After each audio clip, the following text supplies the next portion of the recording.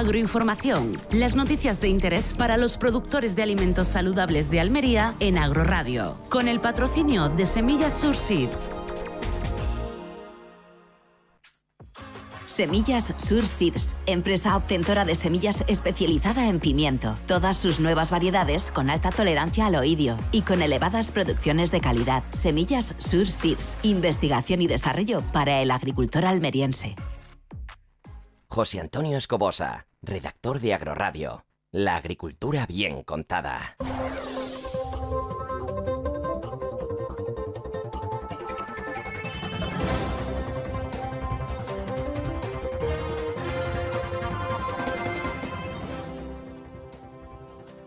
incorporar a esta sintonía. Recuerda que estás en Agro Radio en el 103.0 del dial de la FM.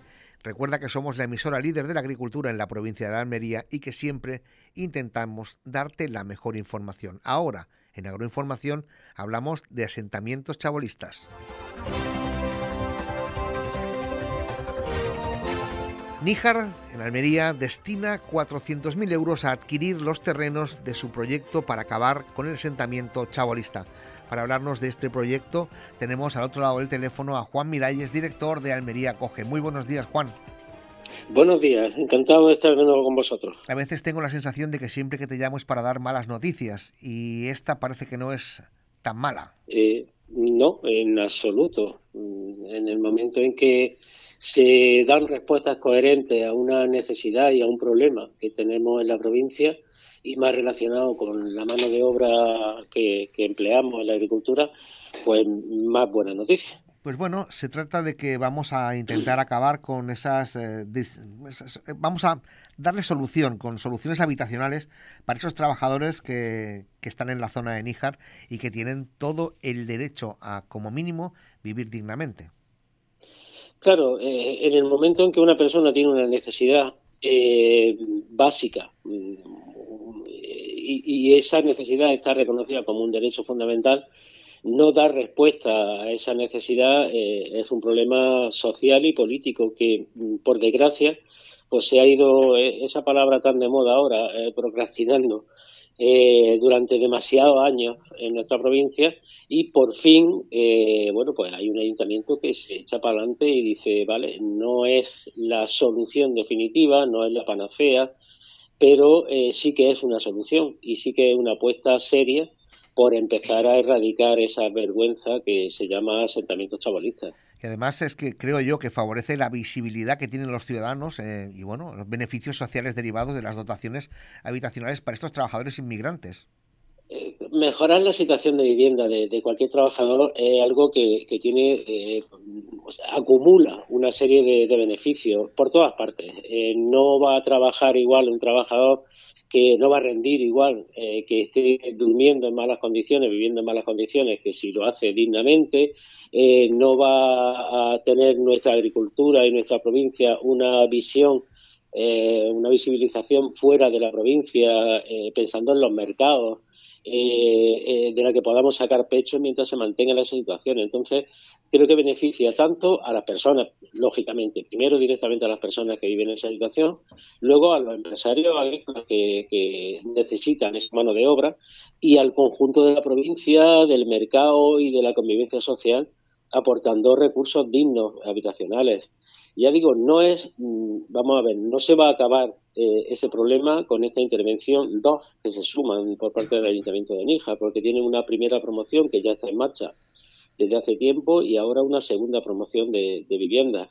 Eh, que no se regalan a nadie, que no se trata de eh, una intervención lastimera para dar solución a pobres personas, sino una solución que hace justicia a una necesidad de la mano de obra y de dónde va a vivir dignamente esa mano de obra que necesitamos. Me parece que es muy importante que se haya abierto esa, esa cita.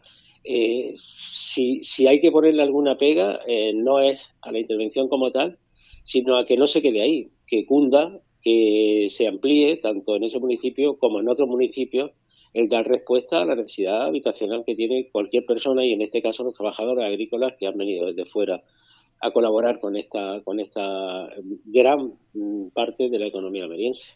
Pues se edificará, se equiparán las dotaciones habitacionales con una vida útil de 50 años para los bienes inmuebles y de 10 años para los bienes de equipamiento. Eh, la verdad es que que yo creo que Juan es un gran proyecto y como tú bien decías, que otros municipios eh, deberían copiar. Sí, eh, se trata de, invertir realmente el dinero público en algo que es útil y que repercute de forma mm, muy positiva de nuevo en, lo público, en, la sociedad en general.